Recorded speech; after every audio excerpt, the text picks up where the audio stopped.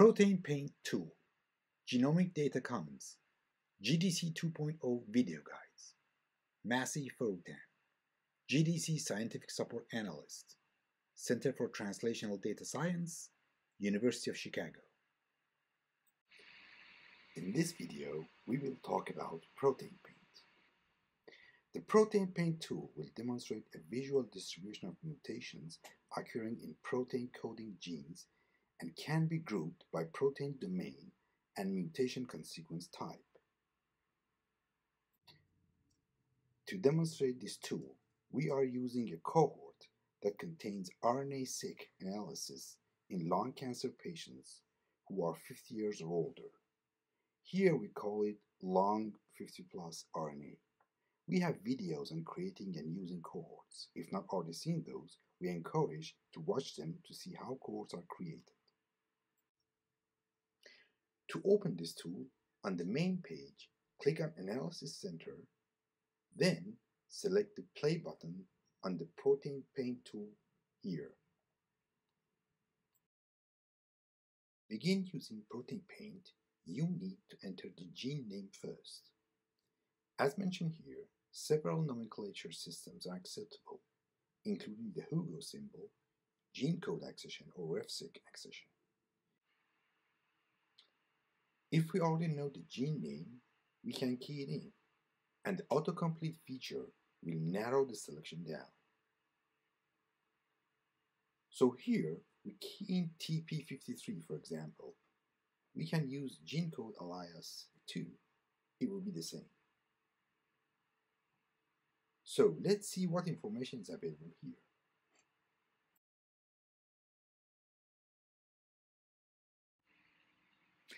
First, we see here that no mutation is seen for this gene in this cohort. So we remove the filter for RNA-seq to have some data for this demonstration.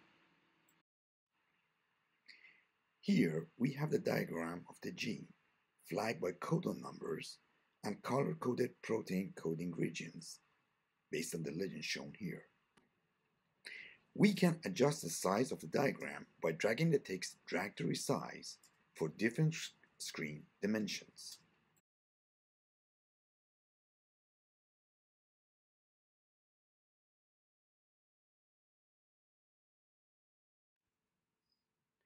Clicking on this config will show some options. Display mode, you can change this view to see intron and exon area 2. Switch isoforms, which show a sketch of how exons and introns are allocated among isoforms. And this option will sh uh, show and hide the lines and the numbers of the codons. On the diagram, we will find color-coded protein domain. The legend indicates the name of the domain plus some links to other websites such as NCBI Protein or Interpro that provide complementary information.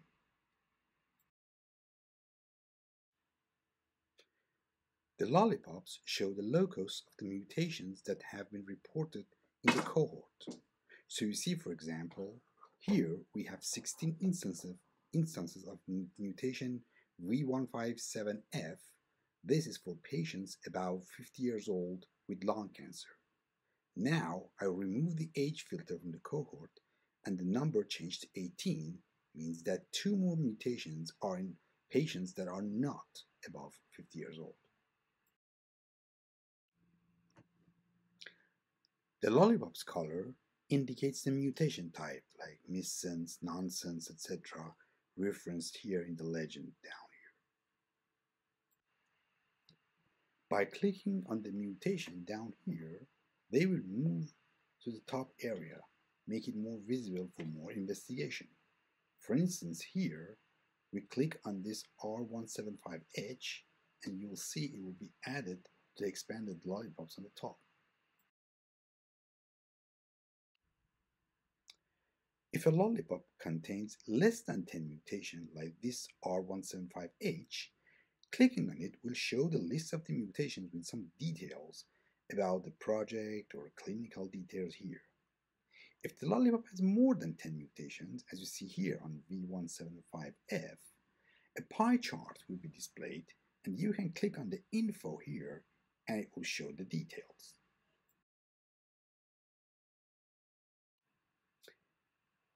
As for this example, the pie chart is grouped based on tissue origin. We have three types here. For each, the first number, like 15 here, are the number of occurrences in this cohort. The second one here, 1624, are the number of occurrences in the whole GDC repository. From the list, we can select individual mutations and add them to our own cohort or create a new cohort that contains these specific mutations. As you can see, I have saved these three mutations uh, as a new cohort and I saved it as new and when I open it, uh, it will the lollipop shows three mutations and when I click on that, the list of that three mutations will show up in the list.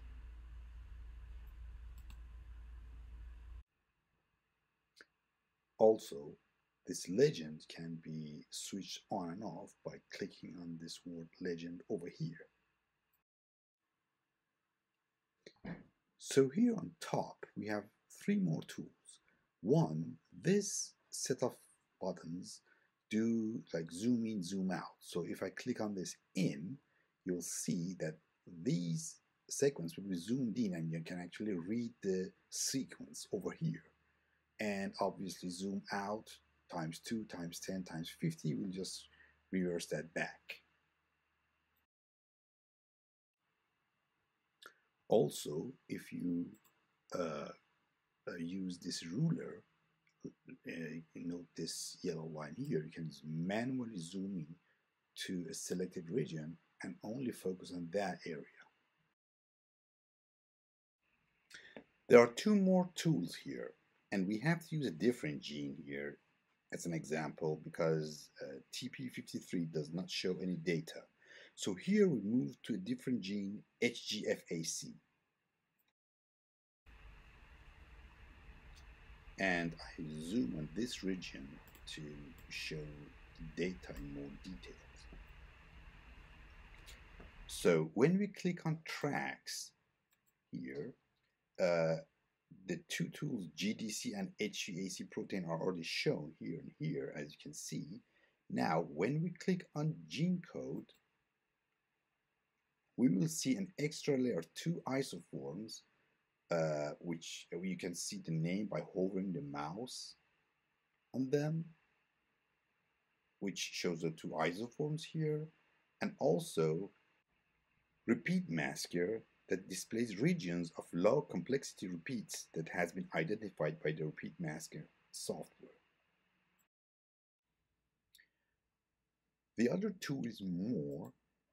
When we click on it, uh, we have export SVG, which what it does is will export this diagram as a picture. You can save it for documentation purposes.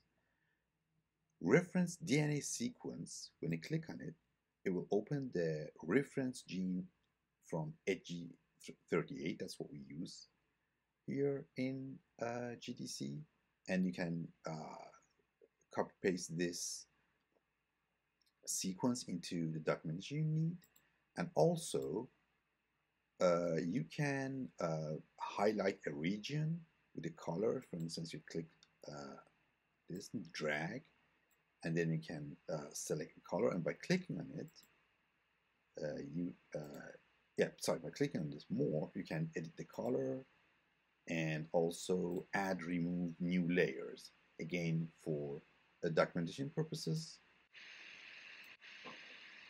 and that's it this concludes an overview of the basic feature of ProteinPaint. For more guidance on this and other GDC Data Portal tools, please refer to the video tutorials or go to docs.gdc.cancer.gov.